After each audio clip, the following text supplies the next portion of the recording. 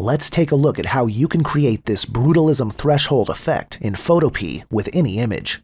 This high contrast effect will reduce the image to light and dark areas, putting emphasis on the shapes and edges of objects.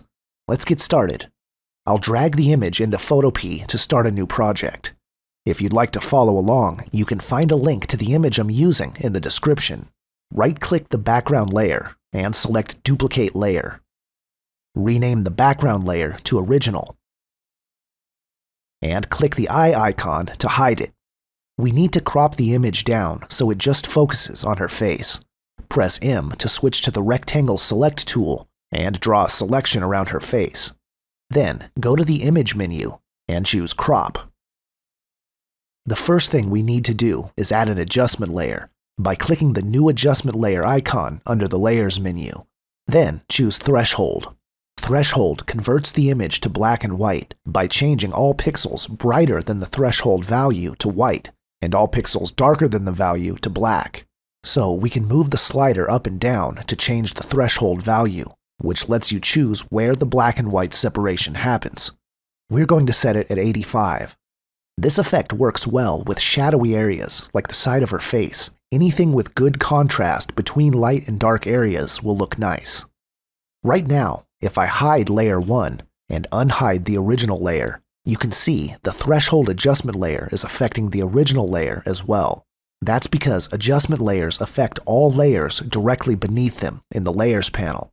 An exception to this is if the adjustment layer is inside a group. It will only affect layers within that group.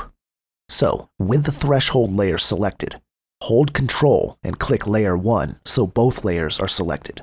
Then, click the folder icon under the Layers panel to add both layers to a group.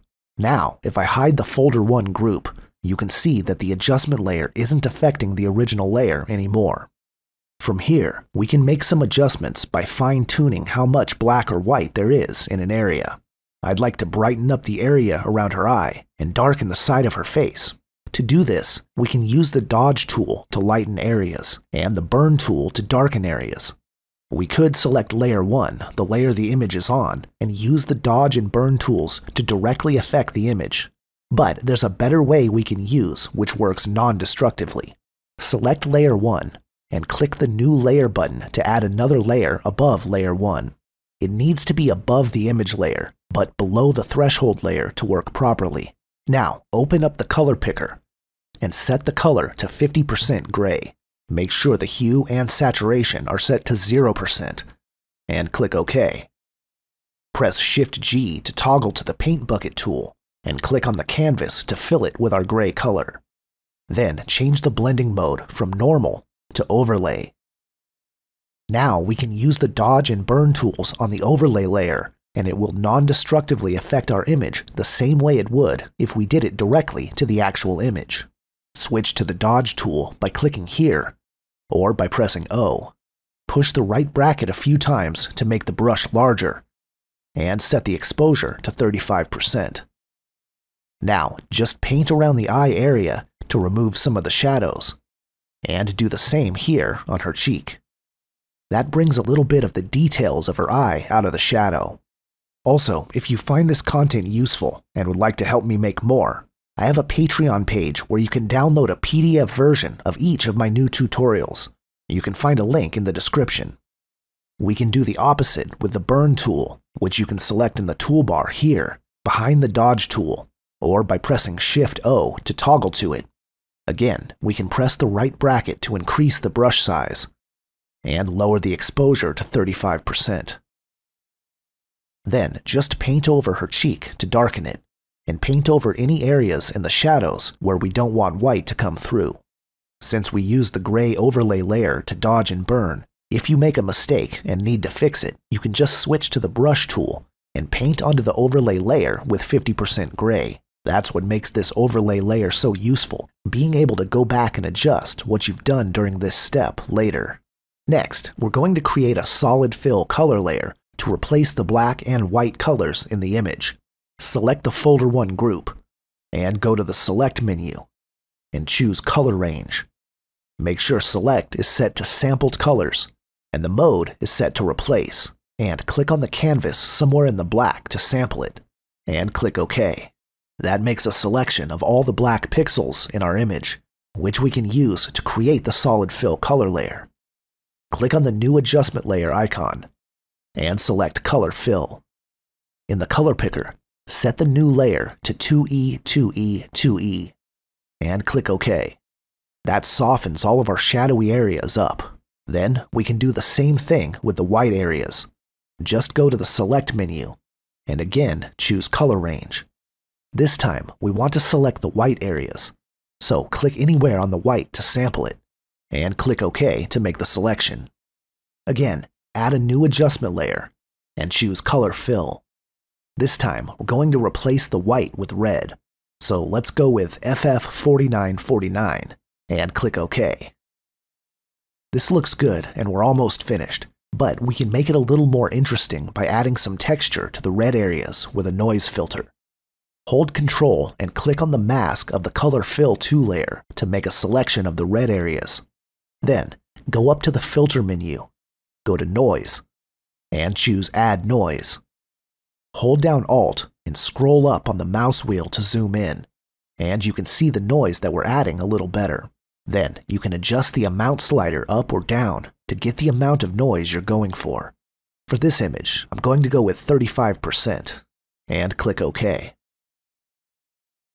click off the canvas to get rid of our selection, and then hold down Alt and scroll down to zoom out and get a better view. If I skip back in the history panel to before we added the noise, you can see that the effect is subtle, but it adds a bit of texture and makes the red areas look a little rougher. We can add some texture to the black areas of the image as well. I'll drag this texture image, which you can find a link to in the description, onto the canvas we need to resize the texture so it fits the whole canvas. So hold down Alt and drag the corner to make it larger and constrain its proportions. Once the texture covers the whole canvas, click the check mark to confirm. Next, we need to change the blending mode from normal to multiply. Then we can turn the opacity down to 56% so the effect isn't so strong. Right now, the texture is affecting the red and black areas since it's on top of the layer stack, but I want it to only affect the black areas of the canvas, and only have the noise texture affecting the red areas. All we need to do is drag the texture layer below the red color fill layer.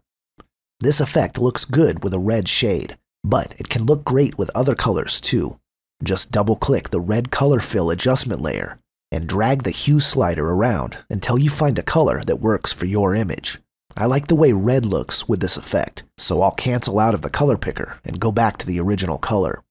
You can also go back to the threshold layer and double click it, and then change the amount to manipulate the cutoff point. If I set it to 155, we can bring out some more details in the face.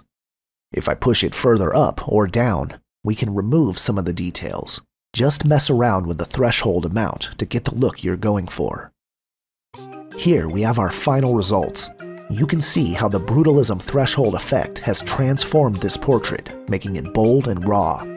The strong lines and sharp divisions between light and shadow give this image a stark, almost industrial feel, characteristic of the brutalist art style.